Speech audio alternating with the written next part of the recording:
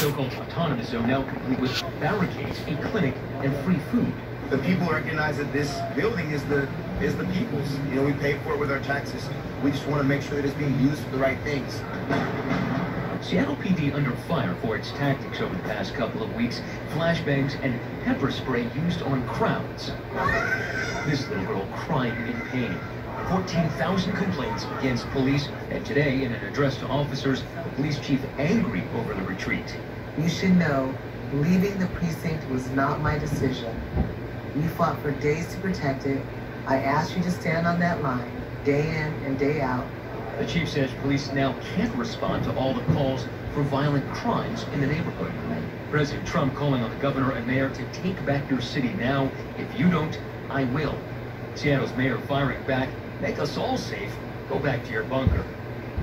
And just moments ago, Seattle's mayor responding to President Trump saying there will be no federal invasion of Seattle. As for what these protesters want, they tell us they want to defund the police. They want everybody who's been arrested in the protest to be released.